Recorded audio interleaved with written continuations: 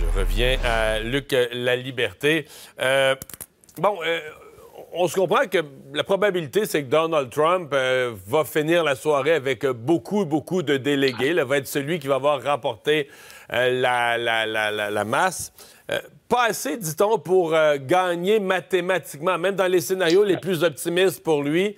quand on additionne, je pense qu'il y en a déjà 276. Il ne il peut pas se rendre aux 1215. Donc, il n'est pas possible qu'à la fin de la soirée, il, a gagné mathématiquement encore. Voilà. Puis Mme Haley a légèrement modifié son discours en regard à, cette situation-là. Au début, elle a dit Je suis là jusqu'à la fin. C'est le message. On ne va pas annoncer dès le départ qu'on va abandonner parce qu'on a perdu un, deux ou trois votes. Euh, maintenant, ce soir, c'est majeur. Mathématiquement, il ne sera pas le candidat, euh, mais en même temps, ça va devenir insurmontable. C'est à toute fin pratique impossible pour Mme Haley de surmonter un tel écart. Donc, ce qu'elle a dit récemment, c'est je vais rester dans la course tant que ce sera pertinent. Donc, est-ce que c'est possible qu'à la fin de la journée, de la soirée aujourd'hui, Mme Haley laisse clairement entendre qu'elle va se retirer? Ça va être intéressant. Si elle ne le fait pas maintenant, elle ne peut pas se rendre jusqu'à la fin. Il euh, faudra voir aussi ce que vont penser ces généreux donateurs.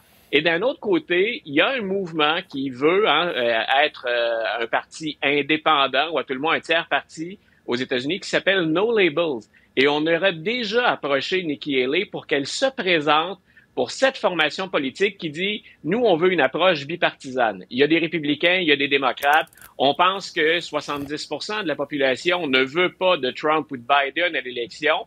Pourquoi on ne, présenterait pas une candidature indépendante? Est-ce que Mme Haley pourrait être tentée? Assurément pas au moment où on se parle.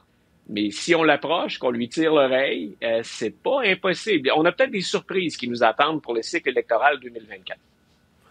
Mais c'est pas absurde d'imaginer qu'une candidature dynamique d'une autre génération qui ferait campagne en disant c'est devenu trop partisan, c'est devenu trop fou, puis on a deux candidats quand même âgés qui ne représentent pas nécessairement l'avenir et le dynamisme du pays, dont un un problème de personnalité euh, narcissique. L'autre, on se demande est-ce qu'il peut vraiment s'engager pour cinq ans?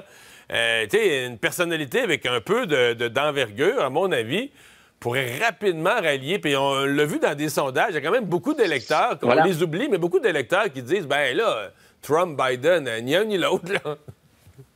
Ben, on a déjà joué dans ce scénario-là en 2020 et la donne a changé statistiquement. Mais l'élection 2020, ça a beaucoup été le choix du. C'est même pas le meilleur choix. Il n'y a pas beaucoup de personnes qui ont voté par enthousiasme. On est allé avec Biden, grosso modo, dans plusieurs cas, pour sortir Trump. Il y a eu un taux de participation assez élevé. Euh, on a enregistré un record de vote autant pour Biden que pour Trump, mais c'était souvent un vote de protestation, c'était un vote d'opposition. Je répète, 70% des Américains disent on aimerait mieux un autre scénario. On a déjà joué dans ce film-là. Est-ce que vous n'auriez pas autre chose à nous offrir? Pour un mouvement qui se prétend indépendant ou encore bipartisan, ce qu'on craint toujours, bien sûr, puisqu'on soupèse, c'est le jeu de qui on fait si on entre dans la course. Est-ce qu'on avantage Biden ou est-ce qu'on avantage Trump?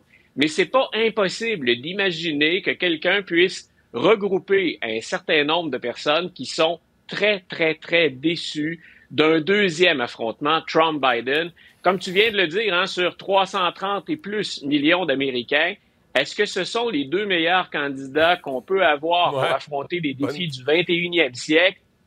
C'est une bonne question. Je, pense que poser la question, c'est un peu y répondre.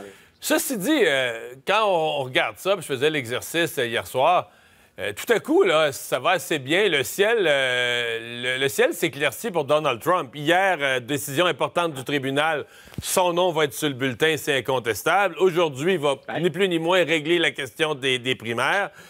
Plusieurs sondages qui, tout à coup, le mettent 3, 4, 5 points en avance sur Joe Biden des sondages nationaux. des sondages quand même dévastateurs. Que le New York Times avait en fin de semaine sur l'état de santé de M. Biden. En fait, la, la perception des gens ou la, faible confiance des Américains, même les démocrates ne croient pas à la capacité de Joe Biden d'être assez énergique, d'être assez en forme pour bien faire le travail. Quand même l'impression que pour euh, Donald Trump, les affaires se placent positivement. On est loin des élections, on est juste au mois de mars, mais quand même. Ben, le seul hic, si je suis Donald Trump ou que je suis l'équipe conservatrice, c'est en lien avec ce que je mentionnais tout à l'heure. C'est si je ne vais chercher que des éléments très conservateurs et que je peine à aller chercher des indécis ou des républicains modérés, c'est pas au plan national que j'ai des craintes. Tu viens d'énumérer des, des, chiffres ou de référer à des sondages dans lesquels il est devant Biden à répétition.